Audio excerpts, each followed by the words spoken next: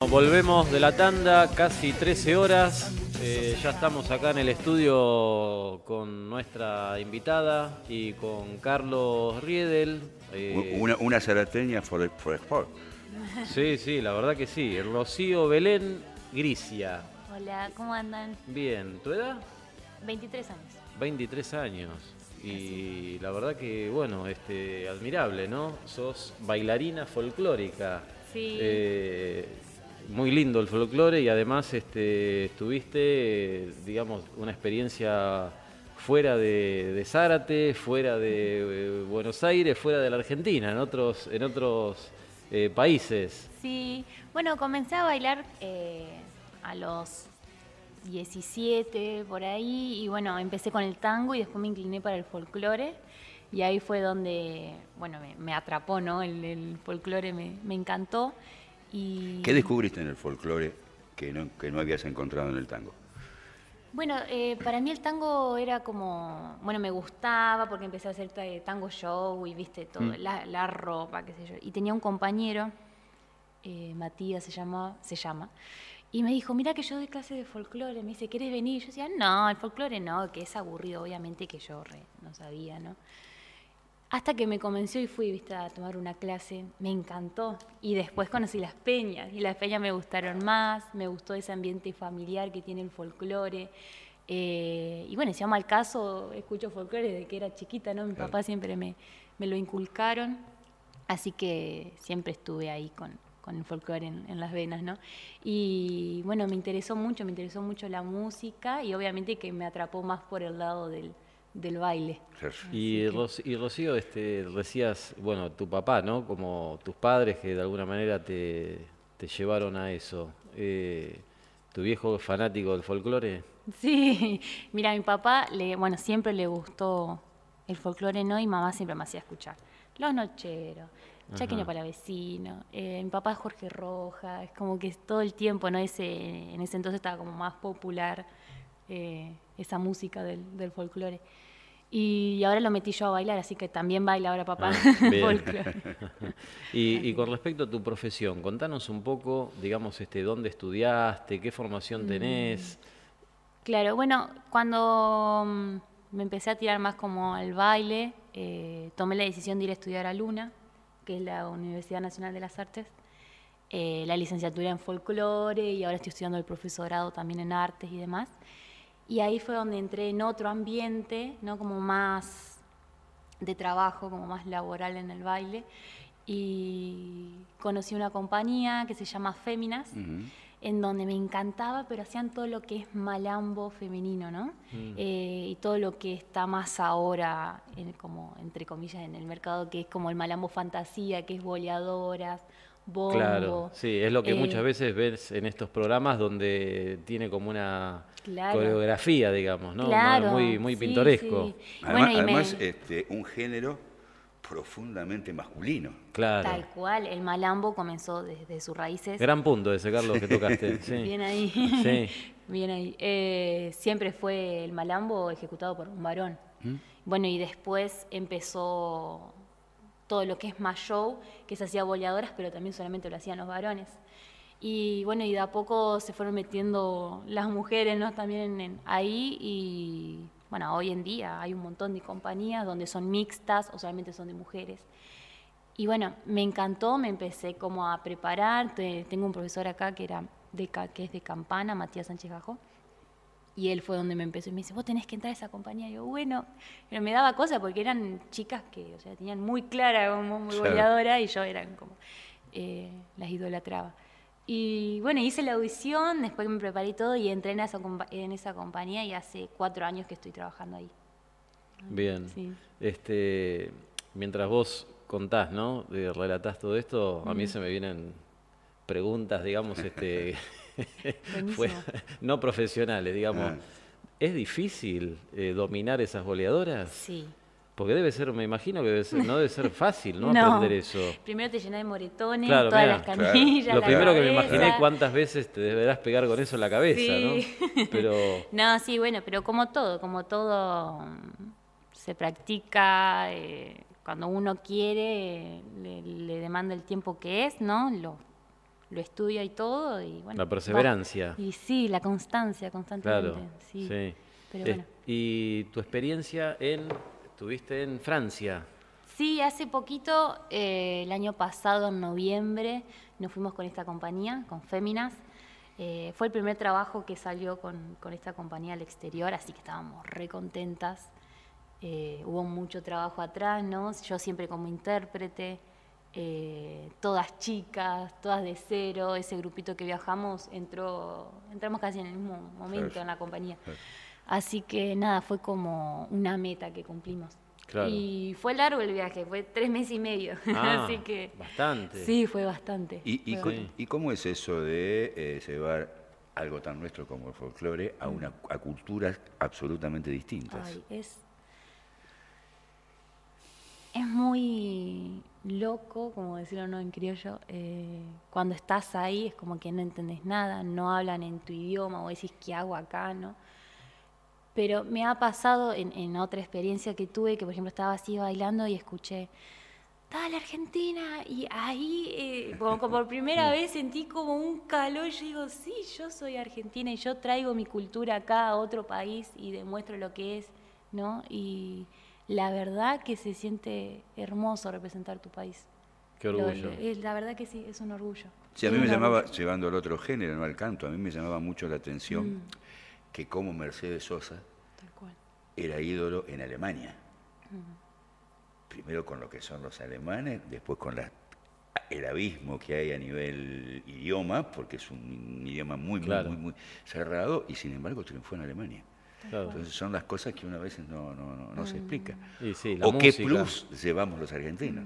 Sí, la música, los artistas, digamos, trascienden eh, cualquier tipo El de arte. barrera, digamos. El ¿no? arte, el arte tiene un poder muy fuerte. Sí. Sí.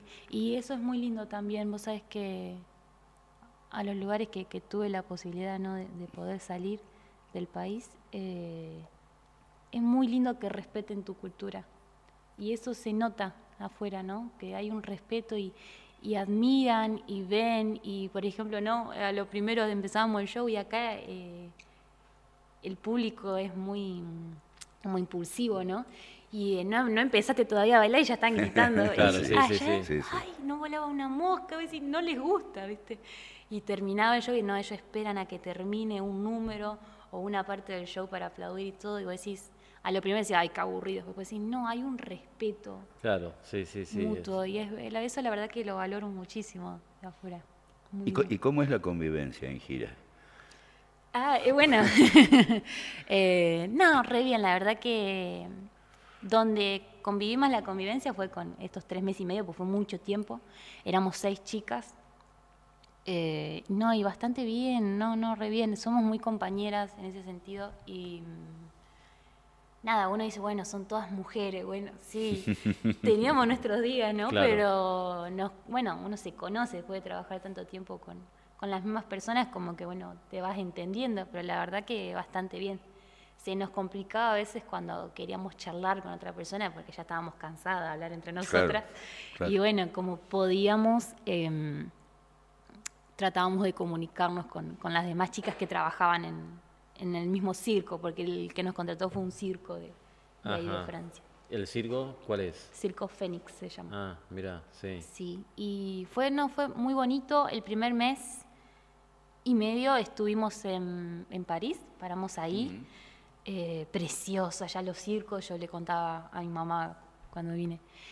Le digo, mami, acá los circos no son, le digo, como allá, es como que son un teatro un poco más, es, es impresionante. eh, son enormes. eh, Pero digamos, son, son como, eh, digamos, como son acá, digamos, eh, estructuralmente, tipo carpa. eh, Claro, ese circo tenía como una parte donde era una carpa, pero una carpa enorme, o sea, era muy grande esa carpa, y después tenía una parte donde estaba todo armado, o sea, con estructura, que era como una recepción que tenía, entonces la gente entraba por una alfombra roja larguísima y entraba a ese lugar y comían ahí, después pasaban al circo. Qué nervios, me imagino, ¿no? En ese Sí, momento, porque- todas ustedes. Nosotros estamos acostumbradas, no sé. eh, Algo más tranquilo. Claro, o así, wow, un montón de gente, mil, mil personas, es como un montón de gente, ¿no? Como ahí. Y el circo, en toda la gente sentada lleno, entraban cinco mil personas, y vos decías, Uh, wow. Era impresionante. El primer show, me acuerdo que hicimos, que terminamos la primera parte y aplaudieron, era una ovación. yo dije, yo pensé que nunca en mi vida iba a pasar por eso. ¿viste? Qué buena experiencia. No, se te caía la lágrima, era, era precioso. Sí, y Rocío, y acá en Zárate, digamos, eh, hay más chicas que, digamos, que te acompañan, que bailan. Sí, eh, tengo muchas colegas, eh, amigos conocidos, no trabajamos nunca juntos pero sí, sí hay eh, una compañía también acá de Malambo Fantasía, eh, donde hay varias chicas de acá.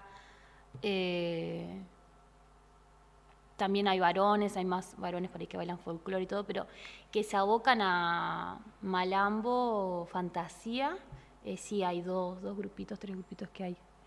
Pero bueno, cuesta mucho el viajar también a Capital y eso, así que es como que para buscar una salida laboral eh, todos nos vamos para allá. Qué, bueno sería, ¿no? Digamos que fomentar, digamos, esta, esta profesión, esta actividad, este, este estilo de arte que es, eh, la verdad que hermoso. Eh, me quedo con lo que vos decías, Carlos, este, que una, una digamos, una actividad tan, tan vinculada, digamos, o ligada a lo, a lo masculino y sin embargo eh, perfectamente se puede, lo pueden desarrollar mm. las mujeres, las chicas y, este, y eso, eso está muy, está muy bueno, porque en definitiva es, es, baile.